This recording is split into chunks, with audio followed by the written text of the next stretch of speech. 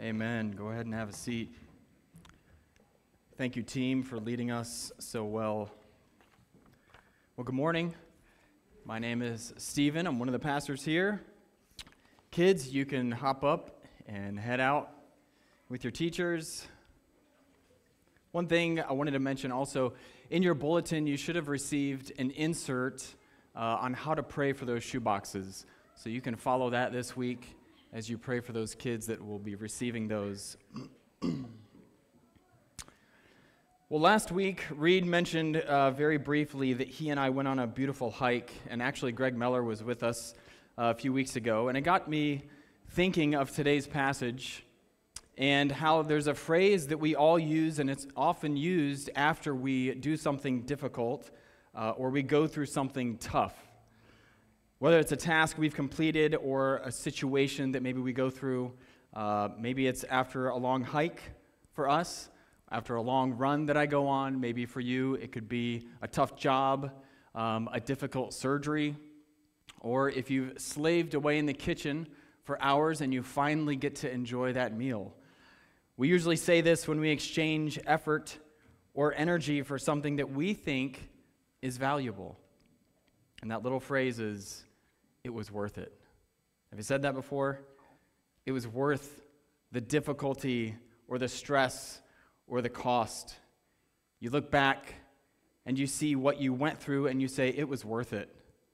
Or, of course, the opposite is also true. You look back at what you went through and you say, it wasn't worth it at all. uh, but today, our story tells us it was worth it.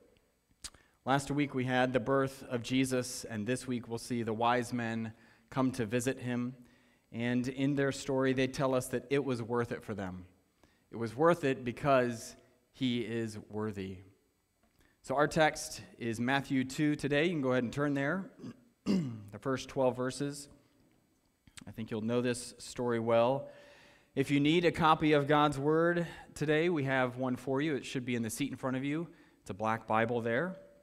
And if you don't own a copy, you can feel free to take that home. That's our gift to you. So let's go ahead and read those first 12 verses there in chapter 2. After Jesus was born in Bethlehem of Judea in the days of King Herod, wise men from the east arrived in Jerusalem, saying, Where is he who has been born King of the Jews? For we saw his star at its rising and have come to worship him. When King Herod heard this, he was deeply disturbed, and all Jerusalem with him. So he assembled all the chief priests and scribes of the people and asked them where the Messiah would be born. In Bethlehem of Judea, they told him, because this is what was written by the prophet. And you, Bethlehem, in the land of Judah, are by no means least among the rulers of Judah, because out of you will come a ruler who will shepherd my people Israel. Then Herod secretly summoned the wise men and asked them the exact time the star appeared. He sent them to Bethlehem and said, Go and search carefully for the child. And when you find him, report back to me, so that I too can go and worship him. After hearing the king, they went on their way, and there it was, the star they had seen at its rising. It led them until it came and stopped above the place where the child was. When they, ch- when they saw the star, they were overwhelmed with joy. Entering the house, they saw the child with his mother, with Mary, his mother, and falling to their knees, they worshiped him. Then they opened their treasures and presented him with gifts gold, frankincense, and myrrh. And being warned in a dream not to go back to Herod, they returned to their own country by another route. Let's ask God for his help this morning. God, would you help us as we look into your word today? Would you give us ears to hear and open our eyes, please? I pray that the Spirit of God would reveal truth to us this morning. In Jesus' name, amen. Well, our story this morning takes place after Jesus' birth in Bethlehem. Last Sunday, we saw that he was born to Joseph and Mary. But our time gap between his birth and the wise men visiting him is at a minimum a few months, maybe even up to two years later. So it's possible that all of those nativity scenes that we own uh, should actually have Jesus standing next to Mary and the wise men. But you don't have to throw them away, please. So, who were these wise men? They were educated, they were advisors and noblemen. A couple places in Scripture actually mention wise men or magi. A character that you're probably familiar with is from the Old Testament, Belteshazzar, or Daniel, as we know him to be. Daniel 4 9 says that he was a wise man, given that he interpreted dreams for King Nebuchadnezzar. So these wise men, they were oftentimes advisors to kings. And Matthew tells us that these men were from the far east, which was somewhere over in Persia. We don't know exactly where in Persia, but their journey would have been about 800 miles. You can imagine how difficult a journey that would be getting on a horseback or camelback or even by foot, whatever they chose. To go 800 miles, you'd have to be convinced that it would be worth it. And you'd have to have determination. Their determination was to pursue the Messiah. So, for example, to put this in our perspective, the length of California is 760 miles long. So, if you jumped on a horse up in Crescent City at the top of the state, and then you rode down to just before Tijuana, right before the border there, that would be uh, about this trip. It'd be incredibly strenuous and demanding, right? These guys, they're not just jumping into the SUV for a road trip, okay? It's not that easy for them. They were outside, exposed to the elements, which meant they dealt with bad weather. The terrain wasn't easy.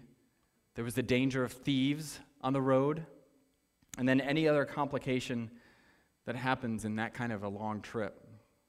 I know 800 miles in a car isn't easy, but none of us can imagine traveling for this long and this way. So remember that nativity scene? Well, it could be wrong again, and I'm really sorry. There probably weren't just three wise men. What? I know. Traveling this far would have certainly required supplies and preparation. This would have taken some extensive planning. Traveling in this fashion and over this distance, 800 miles, it would have been a monumental task, and it would have involved a whole group of people.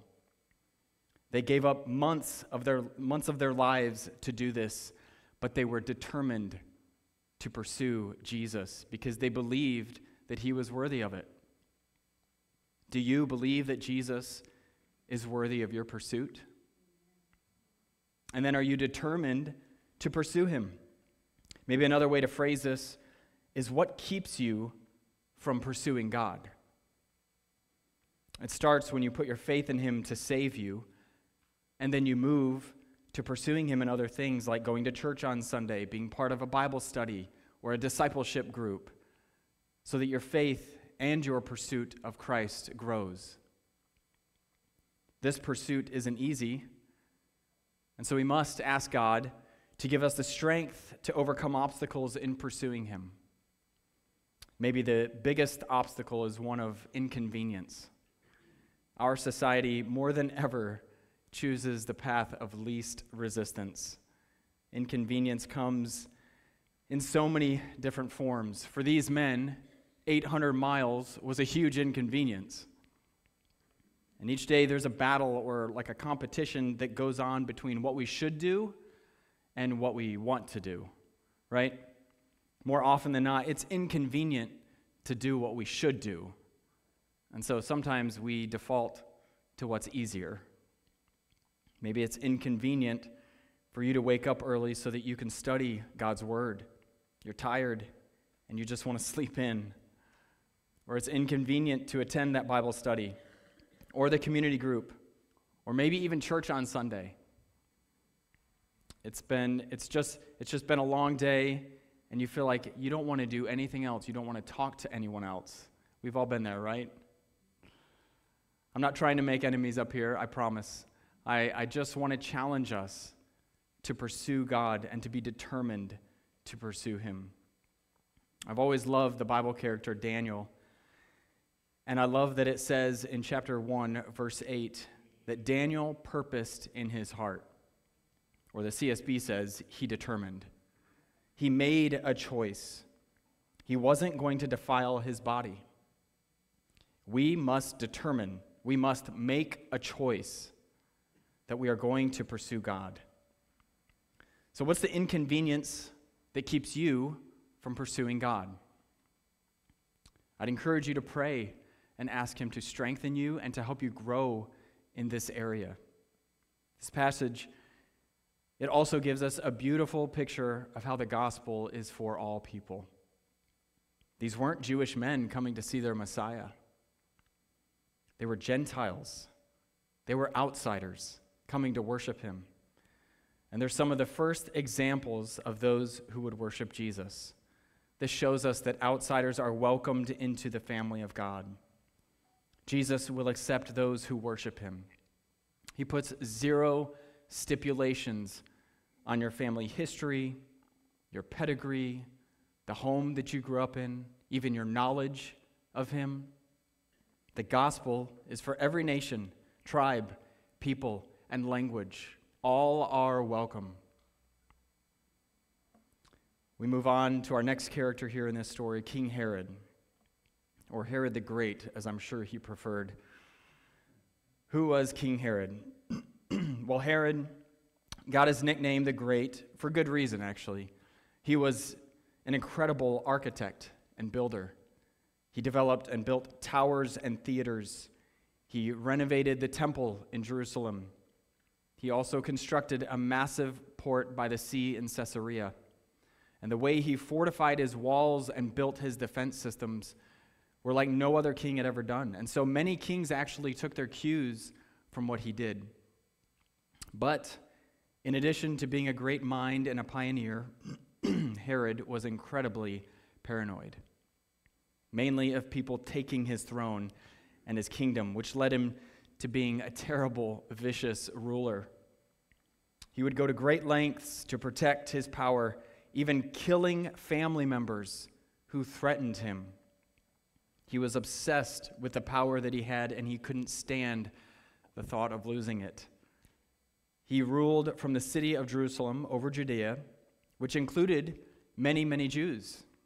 So in verse 2, when the wise men come and ask, Where is he who has been born king of the Jews?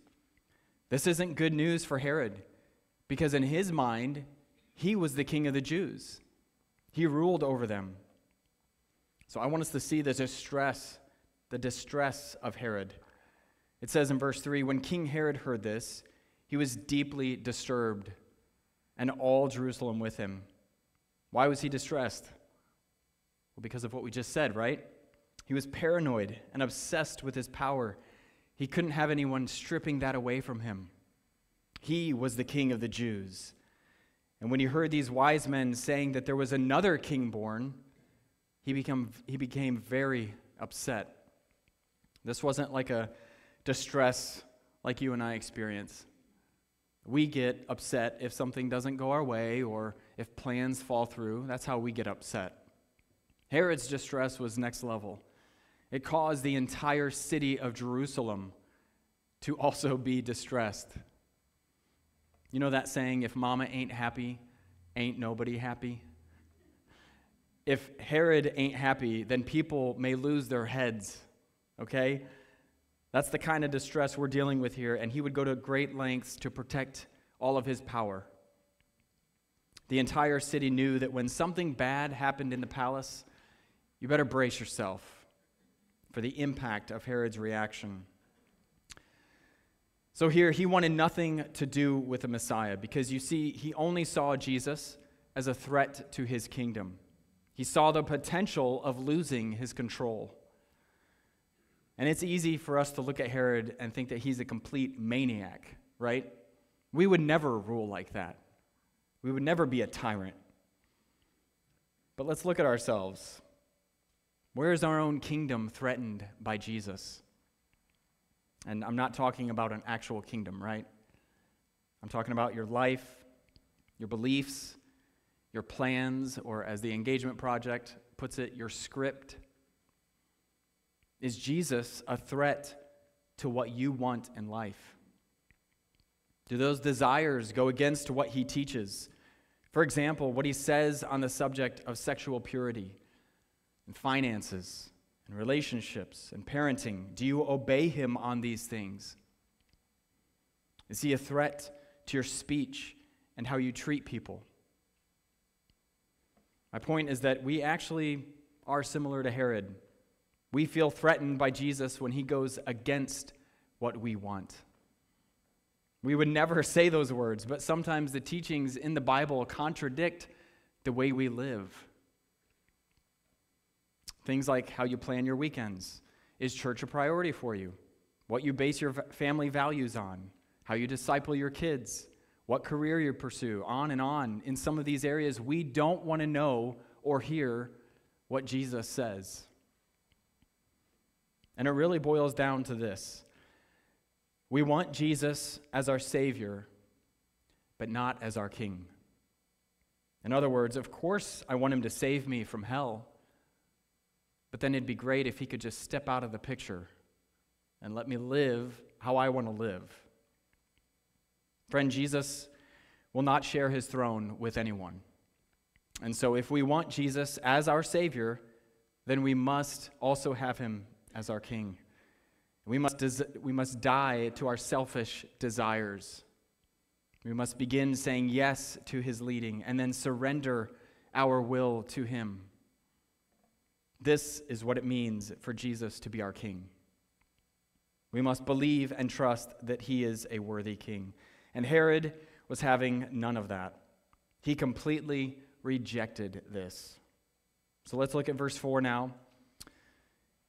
So he assembled all the chief priests and scribes of the people and asked them where the Messiah would be born. So Herod feels the distress of a new king that's born. He gathers the priests and the scribes together. These are the guys that know the Old Testament, they know the prophecies. Truthfully, they should have been the ones looking for the Messiah. They should have been in Bethlehem worshiping him. They knew because 700 years before this, Micah prophesied about Jesus coming. And they tell Herod that he's in Bethlehem. And then verse 6 lays out the prophecy. And you, Bethlehem, in the land of Judah, are by no means least among the rulers of Judah, because out of you will come a ruler who will shepherd my people Israel. He uses the word ruler, which means one ruler over all. There would be one to come who would be born in Bethlehem and he would reign over all people. So now this gets us to our next point, which is the deceit of Herod. You can kind of see his mind working as he calls together these men and they announce this location. He's devising a plan to take care of this threat. He needs to eliminate it. Once Herod knows the location, he calls the wise men in and asks them when the star appeared. And so he's trying to gauge the age of Jesus, right? He's putting together this timeline. He sends them on to Bethlehem and then tells them, Go and search carefully for the child. And when you find him, report back to me so that I too can go and worship him. And of course, we read that and we say, Yeah, right. We see right through you, Herod. But these wise men, most likely, they didn't know his true intentions. Remember, they're not from Judea so they weren't familiar with him. News didn't travel like it does today, so they probably didn't know much about his reputation. But his intentions were clearly to use the wise men so that he could find out where this so called king of the Jews was. And he was deceitful when he said that he wanted to worship him. We know he didn't really want to do that.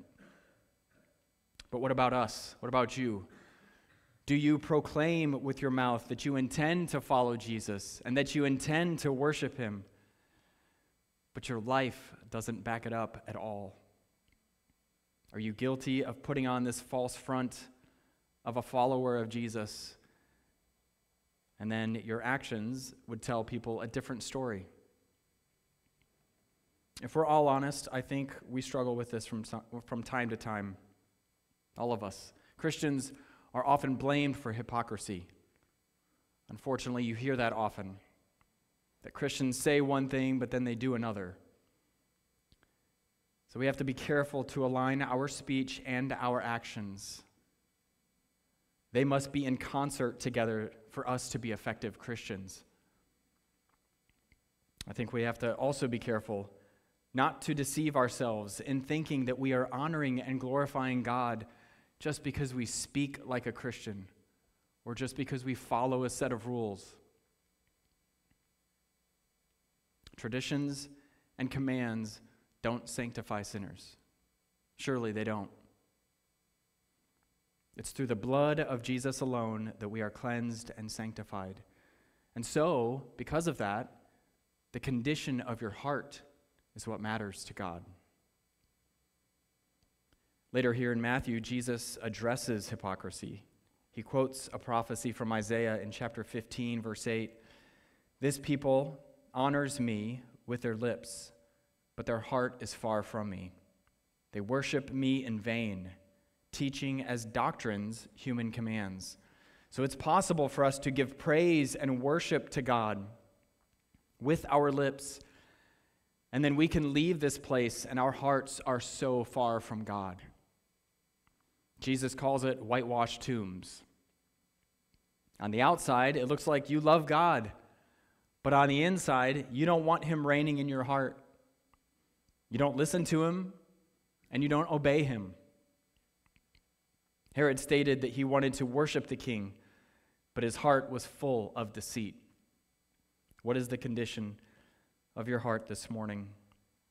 Are you deceitful by making people believe as if you want Jesus, but you know in your heart that day after day you're rejecting him?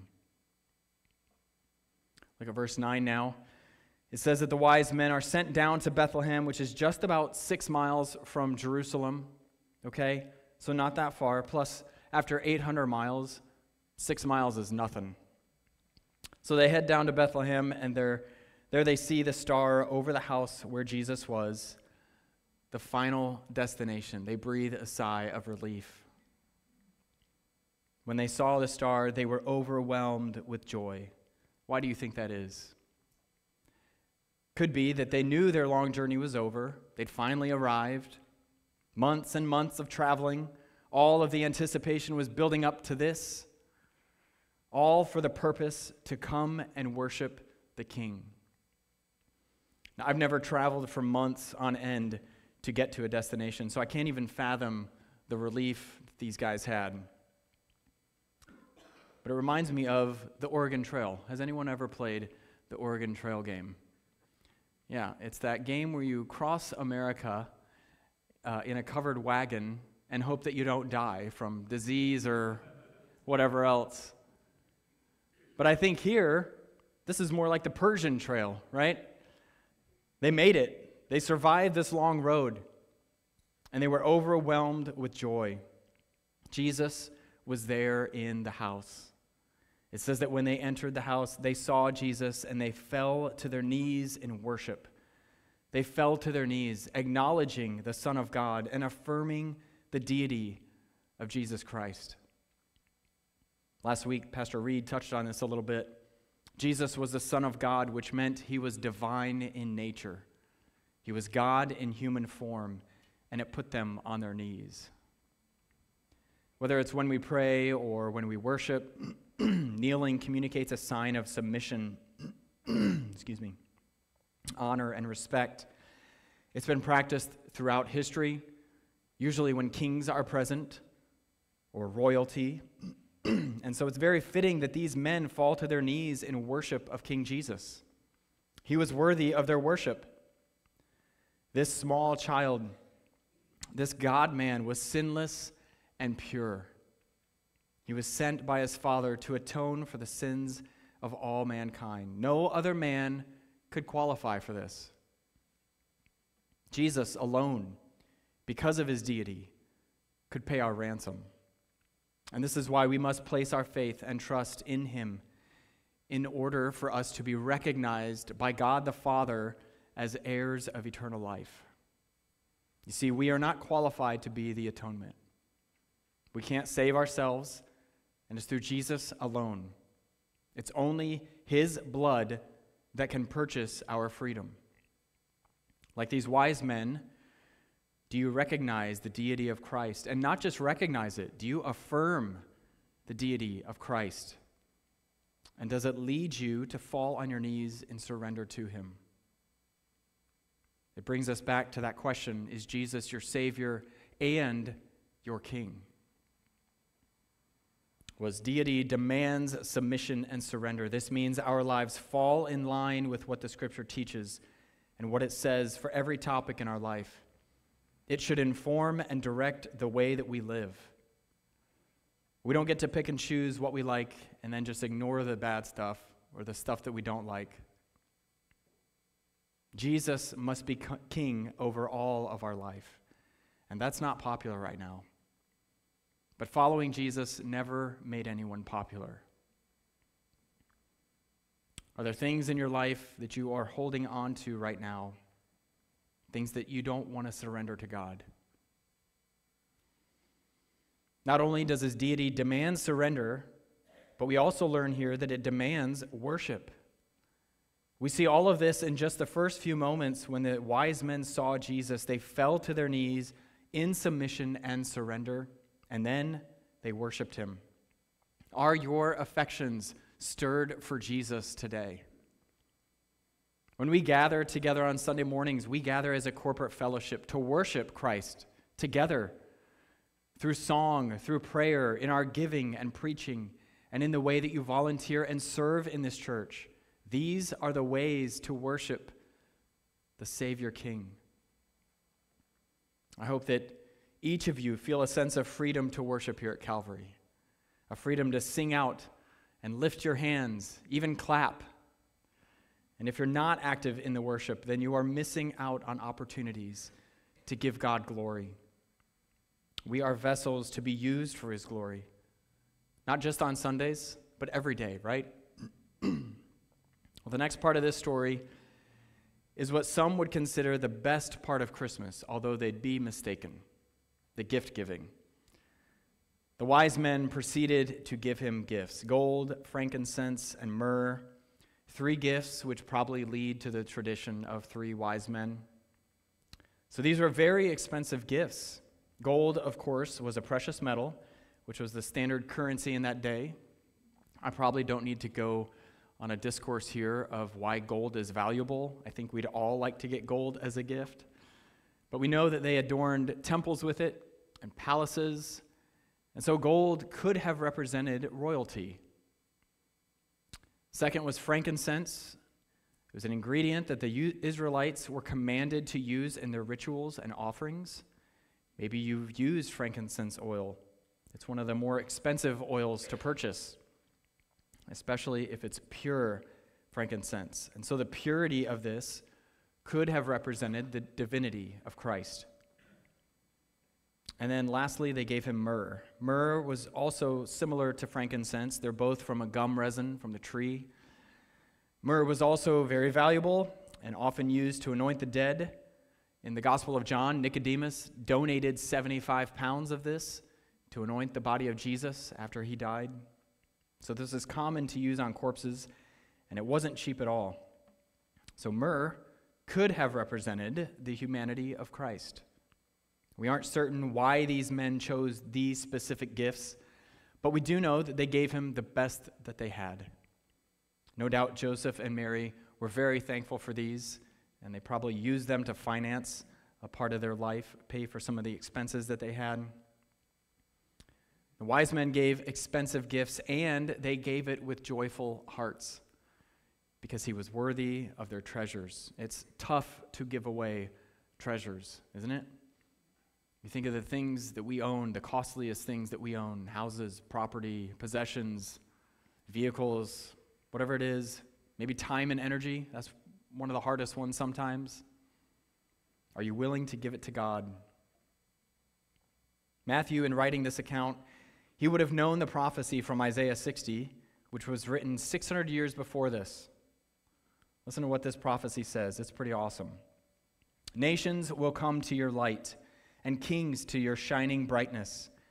Raise your eyes and look around. They all gather and come to you. Your sons will come from far away, and your daughters on the hips of nursing mothers. Then you will see and be radiant, and your heart will tremble and rejoice, because the, because the riches of the sea will become yours, and the wealth of the nations will come to you. Caravans of camels will cover your land, young camels of Midian and Ephah. All of them will come from Sheba.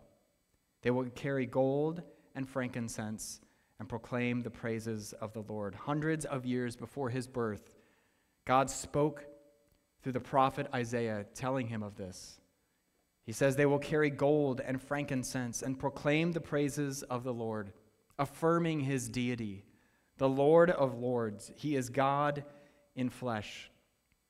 This is why 30 some years later, Jesus is crucified on a cross for our sins. He was able to satisfy the wrath of God.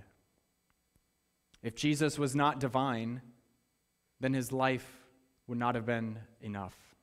And in contrast, you and I are nowhere near divine, near divine. And so our life and our works are not sufficient. Just as I said earlier, it is through Christ alone that we are saved. The deity of Jesus Christ qualifies him to be worthy of our praise and worship. Where are you placing that worship this morning? Is it focused on God or is it focused on yourself? The devil wants you consumed with yourself. He wants that so that God is robbed of his glory. Don't believe his lie. He just wants to ruin your life. His lie is that it's okay to pursue those selfish desires and your flesh. Friends, the devil is subtle. You won't see him coming. Peter warns of this. In 1 Peter 5 8, he says this Be sober minded, be alert. Your adversary, the devil, is prowling around like a roaring lion, looking for anyone he can devour. You know, most likely I'm not going to wake up tomorrow and go rob a bank or murder someone. That would be extreme, right? But I may make up, or I may wake up,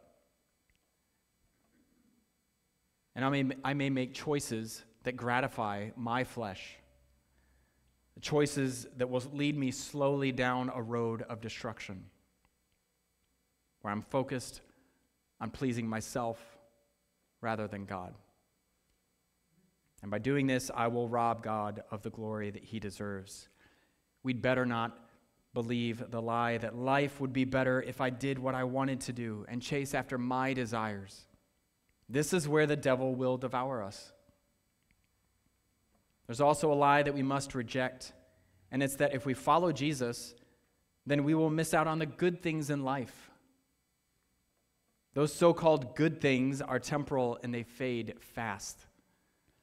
Oh, for sure, they'll bring you some happiness for a short time until you want it again and again, and there's no lasting joy in them.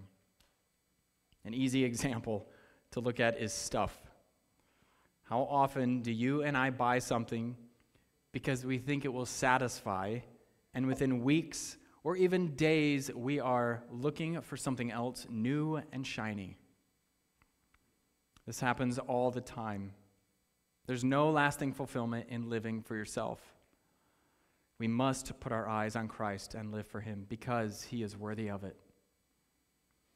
He wants to give us real life, He wants to fill the void in us and not just fill it, He can satisfy it. He satisfies your mind, your heart, and your conscience. And He does that when you surrender your life to Him and pursue His will.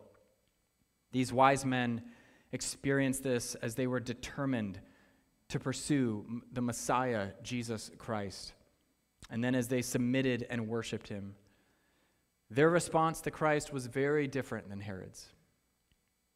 The wise men they embraced Jesus, embraced him as their king and authority, while Herod denied and rejected him. And this morning, how will you respond to Jesus? Do you see him like the wise men did, overwhelmed with excitement and joy, kneeling before him as king, giving him the worship that he deserves? Do you see him as the scribes did? Remember, they missed him. They were passive in their response, they shrugged him off. Or do you see him as Herod did, with rejection and contempt, seeing him as a threat to your way of life, a threat to the sin that you love? Friend, Jesus came to save you from that sin.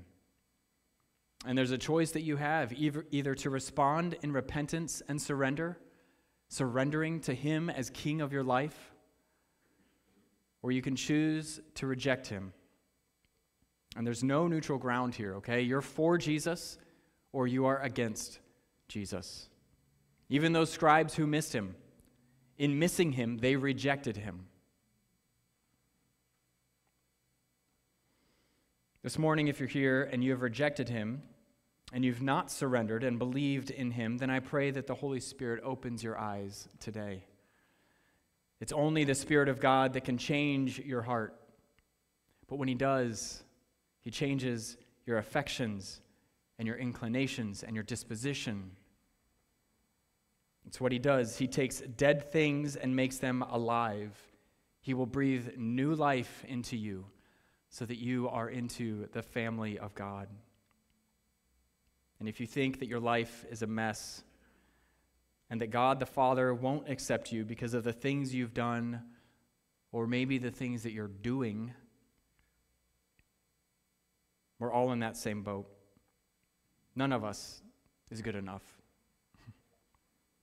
But you're right, He doesn't accept sin, but He accepted the perfect life of his son, Jesus. And it's through him alone that we can have our sins forgiven. So, friend, repent and call on his name. He will save you. You could never do enough good works that would make God look at you as clean and accept you. It's only through the blood that Jesus shed for you on your behalf that you can be cleaned. So let Jesus clean you. Here's what the scriptures say in 1 John 1 If we walk in the light as he himself is in the light, we have fellowship with one another. And the blood of Jesus, his son, cleanses us from all sin. If we say we have no sin, we are deceiving ourselves, and the truth is not in us. But if we confess our sins, he is faithful and righteous to forgive us our sins and to cleanse us from all unrighteousness. First, it is through Jesus alone that we are saved. No one else, no other name. Second, we are all in need of saving because it says that we have all sinned. And if we think that we haven't, then we're just lying and deceiving ourselves. And then lastly, God promises that if we confess, then He will forgive. So, again, if you're here and you have not trusted in Jesus, myself or Pastor Reed, we would love to speak with you after the service today. Our story concludes, and this last part is a little bit ironic to me. In verse 12, the wise men are warned in a dream not to go back to Herod. It's kind of funny how that happened. They could interpret dreams. So I doubt they had any trouble in figuring this out. I can just see them, they're waking up breakfast one morning. Did you have that dream? Yeah, yeah. You? Yeah. And they all are in agreement not to go back to Herod. Church family, pursuing Jesus with our lives isn't going to be easy. Jesus says that it won't. But I hope that today your faith has grown and that the Holy Spirit has worked in your heart to confirm that it is worth it because he is worthy. Let's pray.